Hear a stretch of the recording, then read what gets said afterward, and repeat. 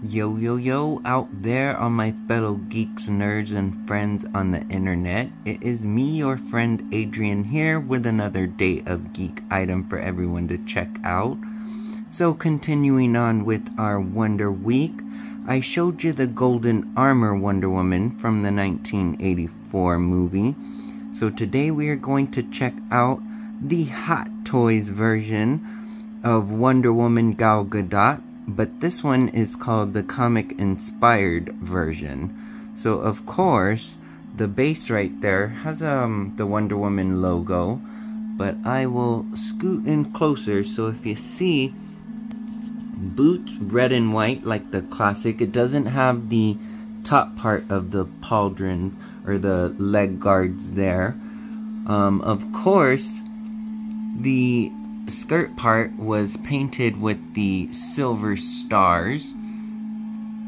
The armor, of course, a brighter red and gold. I really, really do love the color variations on this. The gauntlets are a silvery blue. This one I was actually given as a gift from my twin brother Drew. Thank you again for this. She's still one of my favorite ones. She really does stand out on this shelf. So this, of course, I will say, yeah, another one of the face sculpts that I think that they had improved on her. Of course, the tiara is colored similar to like what a comic book would be. So of course, these uh, Wonder Woman figures, they do have rooted hair, so they look like they have uh, not real hair, but yeah, real like hair. So let me go ahead so that way you can all see the face sculpt on her. And then I, of course, will spin it around so you can check out the back here. So, of course, still very bright and colorful all the way down. I enjoyed getting this one. I kind of have her in a static pose because, of course, these figures of Wonder Woman, they have what's called seamless bodies. So, of course, you do not see any of the joints at the arms.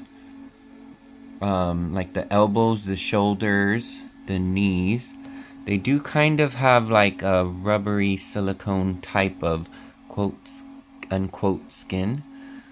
But yeah, they are very, very lifelike and realistic. That's why I wanted to get these. So I hope everyone enjoyed being able to check out the Hot Toys comic colored inspired version of her.